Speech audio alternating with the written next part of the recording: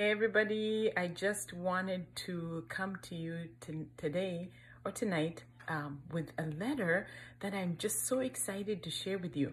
For those of you that um, prayed with us this morning, Pastor Callie read this particular letter.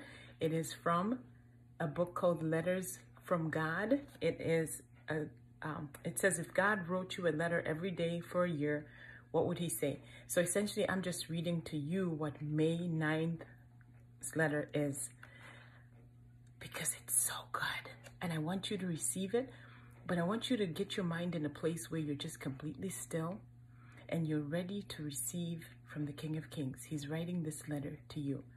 So it's called My Divine Yes. It's taken out of the book of Exodus, chapter 3, verse 21. And it says, it's kind of paraphrased here. It says, I will grant you favor in the sight of the Egyptians and it shall come to pass that when you go out, you will not go out empty handed. So here's the letter. It says, Favor is your destiny. I'm removing the blockades and the no's from your life. The best is yet to come for you.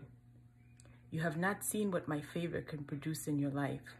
My favor is my divine yes. I love to say yes to your prayers. My goal for you is that you receive answers for all your prayers. I want your desires and dreams to be fulfilled. Even lost and forgotten dreams will be resurrected.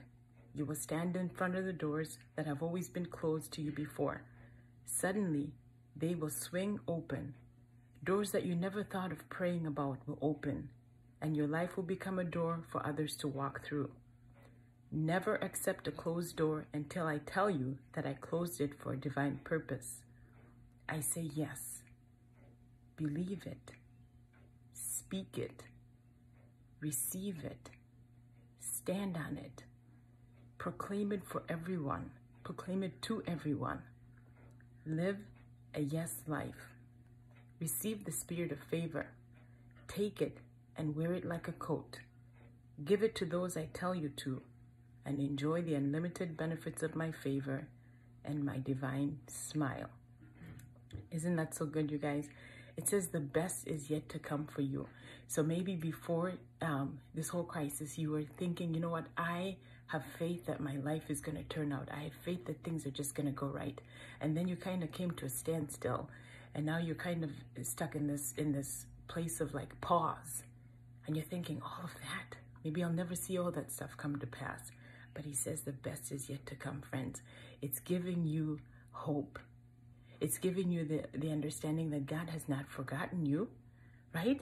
He says, You've not seen what my favor can produce in your life. Can you imagine the favor of God upon your life that's yet to come?